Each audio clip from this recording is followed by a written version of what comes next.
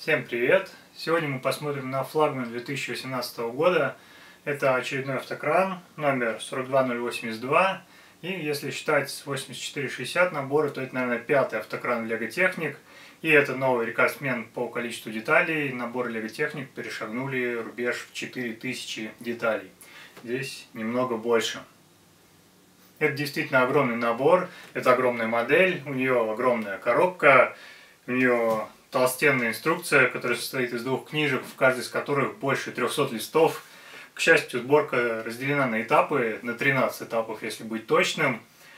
И это хорошо, потому что больше 4000 деталей вообще трудно где-то уместить. А так по пакетикам потихоньку открываешь, собираешь, очень удобно. По части деталей этот набор так же крут, как роторный экскаватор 42055, только здесь вместо гусениц поставили колеса. Это основное отличие. В нем очень много всего, и сейчас поподробнее расскажу. Ну, во-первых, это большие колеса, 94 мм, как были в Унимоге и в Volvo 42030. Здесь же у нас красные диски, портальные редукторы. Из спецдеталей это два больших актуатора, 4 маленьких, поворотный стол, L-мотор и зубчатые рейки для большого поворотного стола. Много здесь красных панелей, прямоугольных и изогнутых, укороченные есть изогнутые, но много непарных, хоть я непарный вынес верхнюю часть слайда. Черные в основном парные, ну у черных не так много панелей, зато 15 серых, видимо от Arax остались, кузов там тоже был из серых панелей. Поскольку модель большая, надо обеспечить прочность, здесь много рамок, и вот есть серые, черные, H-образные, и они могут, конечно, пройти мимо красных Т-образных соединителей, у меня красных пока еще не было. В модели почти 130 шестеренок, почти всех видов, 9 карданов, шрусы, элементы коробки передач, в общем, все что угодно можно построить. Ну и приятным бонусом идут всякие коннекторы в интересных цветах, оранжевых вот 72 штуки, ну и есть еще некоторые другие. Сборка набора совсем не быстрая, он действительно огромный, на него уйдет не один не два вечера, поэтому не надо пытаться как-то побыстрее его собрать, надо неспешно собирать, получая удовольствие. Ну и несколько моментов по ходу сборки сейчас расскажу. Сборка сразу начинается с интересного механизма. Это раздаточная коробка, которая будет вращать механизмы, соответственно, в разные стороны, в зависимости от того, куда сдвинута муфта ну, так это происходит. Видно, что левые шестеренки крутятся в одну сторону, а правые противоположную.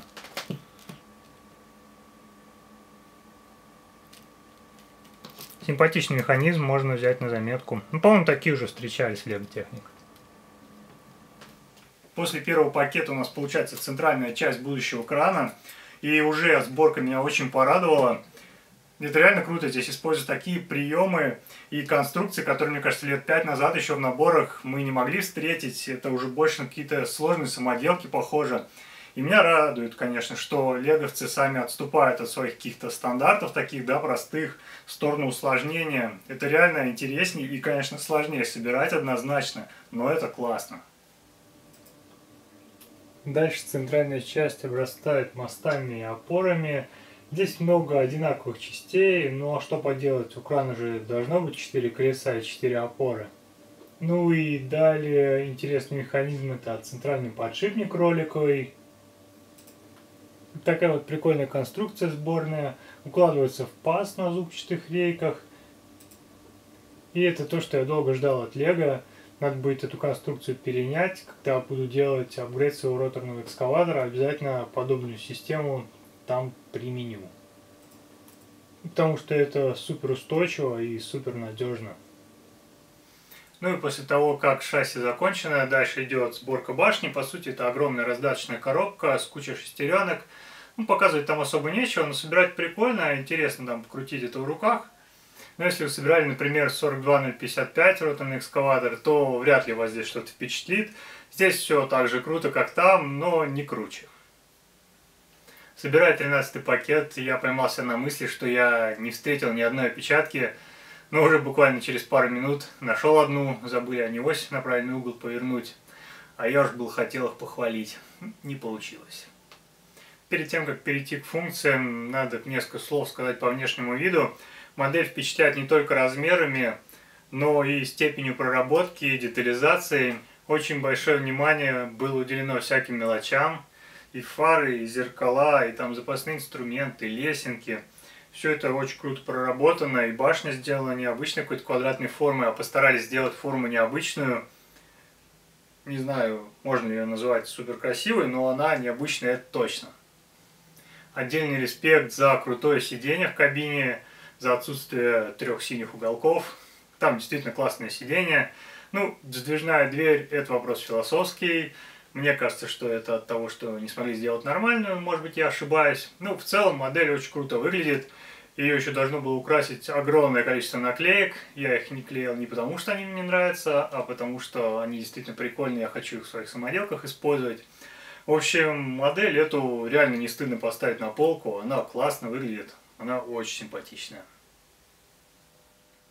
Из-за огромных размеров модели функции, конечно, на столе очень неудобно показывать. Ну, начнем с простого. У модели полноприводная трансмиссия с дифференциалами спереди и сзади, с портальными редукторами. И у нас здесь восьмицилиндровый макет двигателя, тот самый, без всяких изменений. Катается модель довольно легко и приятно. В модели четырехколесное рулевое управление, режим рулевого управления только один, поворачивают все колеса, Э, внутренний и внешний немного на разный угол, поэтому она катается довольно плавно, рулится. Ну и плюс она рулится плавно за счет того, что у нас здесь понижение небольшое идет от ручки. И ручка, кстати, очень удобная, это не пластмассовая шестеренка, а это такое колесико. Ну и мы видим, что башня очень колбасит на поворотах. Ну и чтобы стрелу не разворачивал, на самом деле можно попробовать включить эту функцию поворота. И вот тогда, да, я так Ой, как там, наверное, шестеренка совсем нехорошо, но она перестала поворачивать.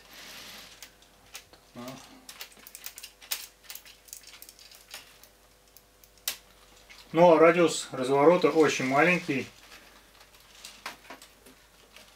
Можно на столе развернуться. Мне неудобно ручку крутить, но, в общем, действительно рулится он приятно, а вот башню заносит не очень, конечно, удобно. Еху, гоночный кран.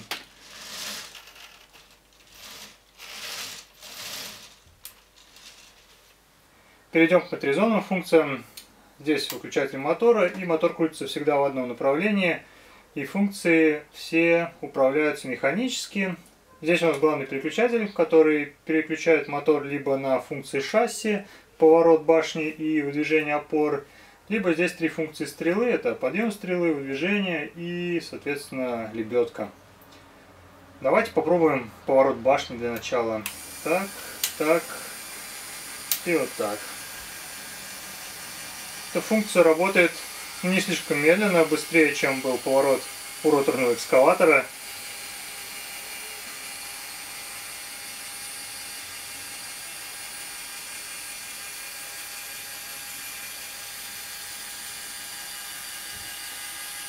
Чтобы повернуть обратно, надо перещелкнуть в другую сторону. Либо можно поворачивать башню рукой, если не включен этот селектор. Очень она приятно катается благодаря подшипнику, который в центре. Прям сказка.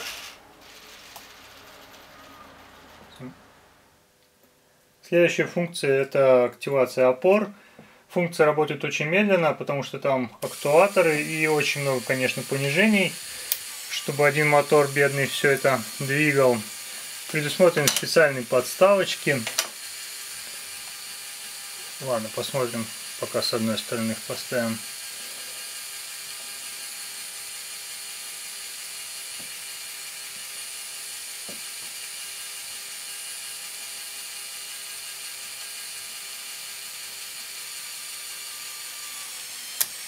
Ох, как его колбасит.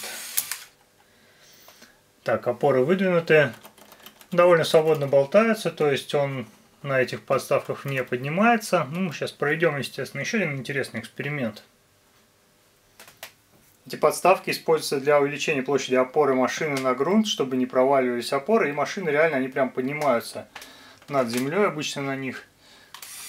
Сейчас попробуем поставить эксперимент. У меня почему-то начинает вращаться башня, хотя она отключена.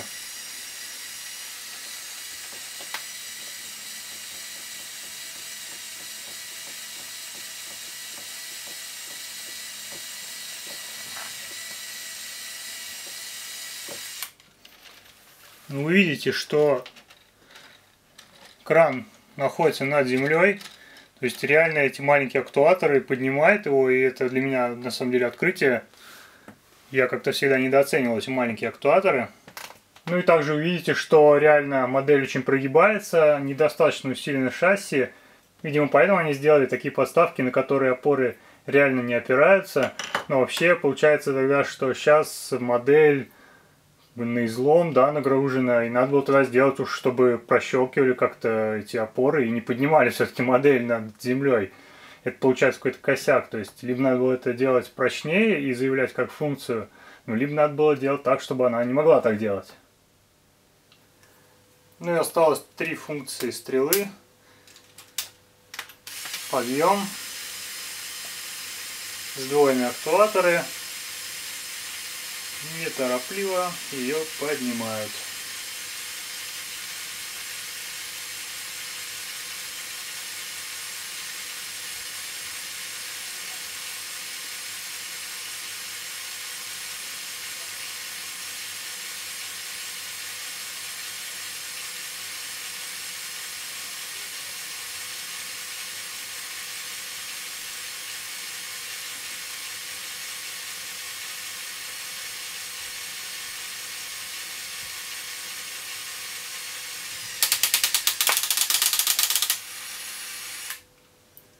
Сейчас попробуем лебедку включить. Главное угадать. Угадать. Ну, крюк обычный с полиспастом 2 к 1. Но у него есть одно прикольное новшество. Ну, не сколько у крюка, сколько у лебедки. Сейчас крупным планом покажу. Модель очень прикольно сделан автоматический такой тросоукладчик. Сейчас посмотрим. Завораживающий механизм.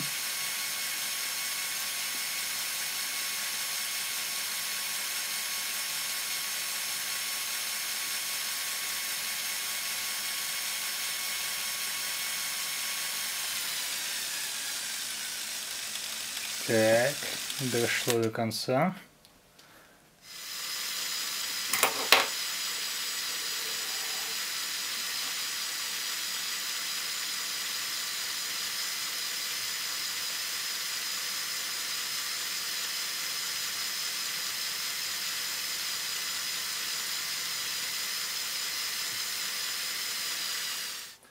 И заключительная функция, которую труднее всего снимать, это выдвижение стрелы.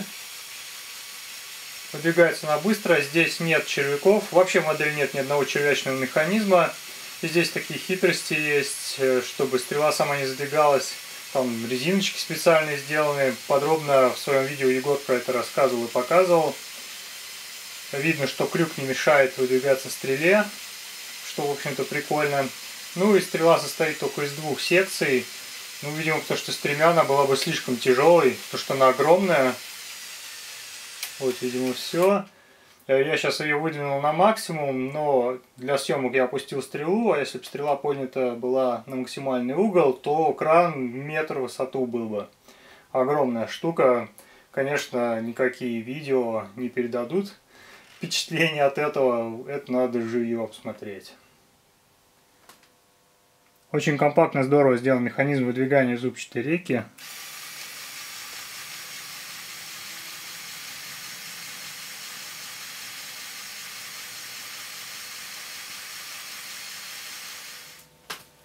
В комплекте с краном идет целый дом, который можно строить. Естественно, чтобы что-то зацепить, надо все это делать вручную.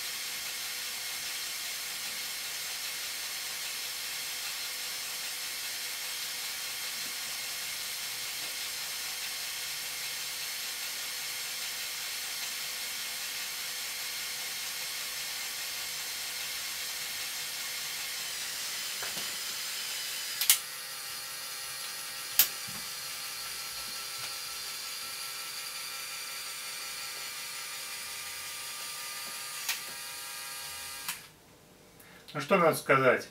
Очень меня порадовал этот флагман. Большое количество полезных деталей. Нет, небольшое, огромное количество полезных деталей. Всевозможных, на любой вкус. Не совсем на любой цвет, но тем не менее ассортимент действительно очень интересный. Функции тоже хорошо работают. Не так медленно, как в роторном экскаваторе. Значительно быстрее. Играть им интересно и приятно. Снимать его, конечно, очень неудобно, лучше собрать самим и все увидеть воочию. Ну и внешний вид у модели тоже обалденный, можно легко поставить на полку. Выглядит он не хуже Бугати по детализации, ну а если посмотреть на зеркала, они и вовсе лучше, чем эти лопухи. Это такой небольшой сарказм. Действительно классная модель во всех отношениях, мне очень понравилось. Его, наверное, не очень сложно моторизовать. Если выкинуть все раздаточные коробки и поставить вместо них моторы, то все можно сделать с пульта. Тоже, наверное, будет прикольно. Единственное, что здесь нет, а что хотелось бы, конечно, увидеть, это подвеска. Ну, надеюсь, в кране в шестом это будет реализовано. Ну, а на сегодня у меня все. Пока!